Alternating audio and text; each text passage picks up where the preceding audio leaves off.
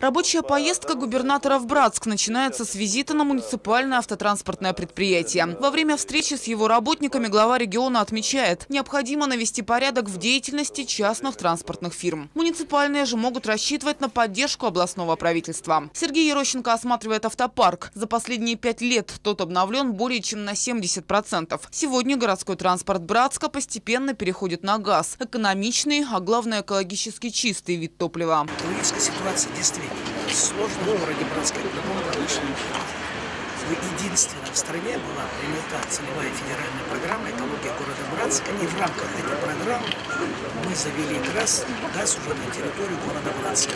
Освоили братское газоконденсатное месторождение, затратили миллиарды рублей. Далее по программе встречи со студентами Братского государственного университета, одного из лучших учебных заведений при Ангаре.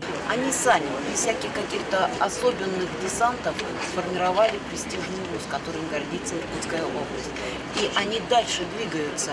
А, есть колледж, то есть э, техническое образование уже для деток только из школы. Есть э, прикладные площадки э, для предприятий.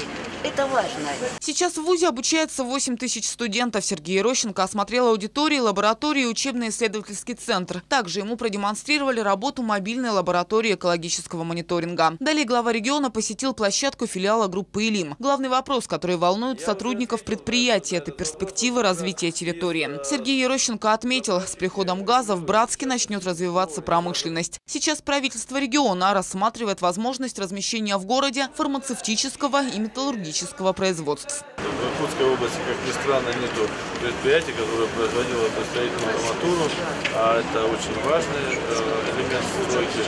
И Братске есть все условия для того, чтобы такое современнейшее производство появилось. Наличие газа, наличие инфраструктуры, э, наличие. Врачане должны быть уверены, что у Иркутской области есть будущее. Самое главное, есть будущее нашего города Братска. Это и то, что заканчивается строительство детского сада, и то, что продолжается модернизация здравоохранения. И, на мой взгляд, как врача, главное, что сегодня кадровый вопрос в медицине, он будет решен. Потому что все составляющие для решения этого вопроса есть. Открытие новых производств предполагает создание новых рабочих мест, в том числе и для молодых специалистов. Это значит, выпускники учебных заведений при Ангаре будут оставаться жить и работать в своем регионе. Галина Тюрнева. Новости сейчас.